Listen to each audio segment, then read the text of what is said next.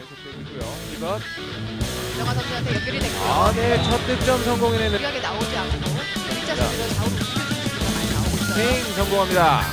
1점 중앙에서 연결. 내일이 찬스죠. 팅 성공합니다. 그렇지만 수비가 돌릴 수 있거든요.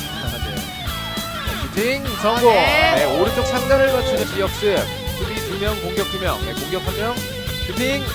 아우바슛 멋지게 성공합니다. 아.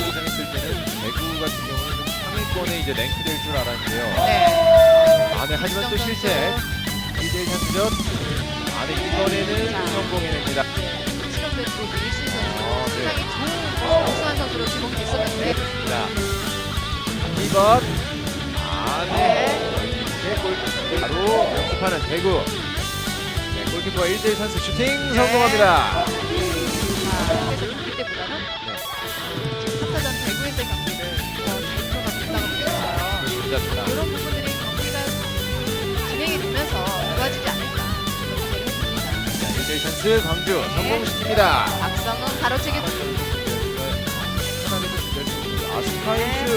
자 수비가 붙잡고 따라 전에도 정명희 골키이 47도에 선방에서 들렸습니다. 상당히 높은 선방이죠. 네.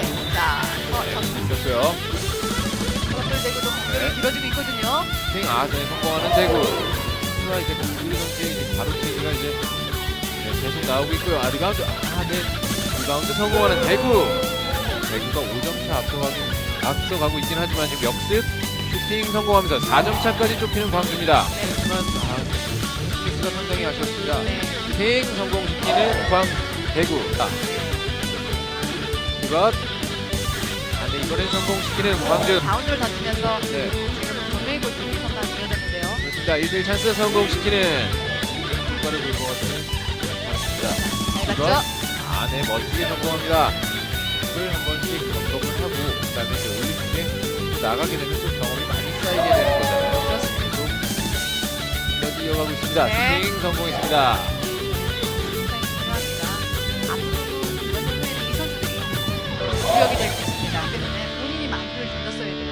그렇습니다. 슈팅 성공합니다.